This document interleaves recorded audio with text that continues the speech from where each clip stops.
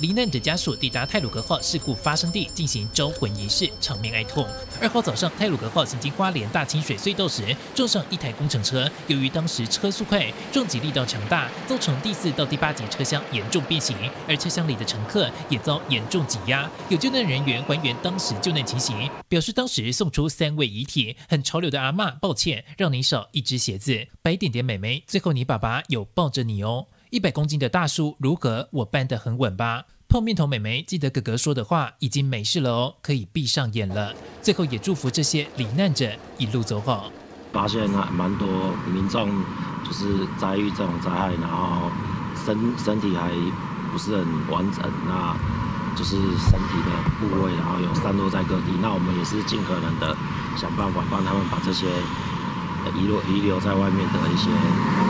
残缺不不全的大地，把它捡回来。到达的当下，就是一个阿姨被门压重重的压住，然后旁边又有一双手，大概花了四五十分钟将阿姨脱困之后，那过程中会一直踩到两具大体的可能躯干或手，然后当下都一直跟。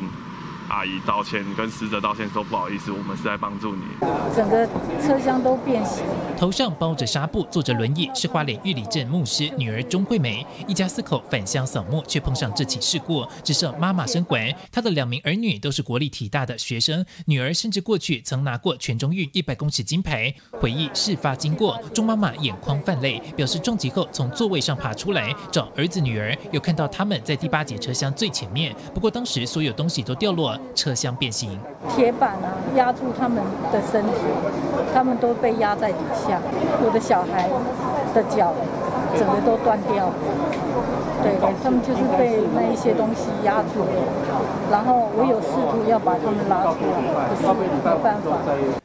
而这一位生还者陈先生，则是一家六口准备回台东扫墓，全家人都坐在第六节车厢。回想事发当下，陈先生一度哽咽，表示当时他正在睡觉，突然感觉身体被甩出去，回过头来，女儿的后脑勺已遭撞击流血，而六岁孙女则是失去呼吸心跳。我在那边急救，急救了很很很久，还是没没办法，没办法，可能是我没有我没有没有没有。没有尽到父父亲的责任呢。事故来得太突然，家属难掩悲痛，而目前还有许多遗体仍破碎不全。就有来自彰化的遗体美容团队号召全台遗体修复师替这些罹难者修复尸身。目前第一梯次总共出动五十八人，全部自愿前往，不拿酬劳，就是为了让亡者们有尊严的走完最后一程。新唐人亚的电视，台湾台北花莲综合报道。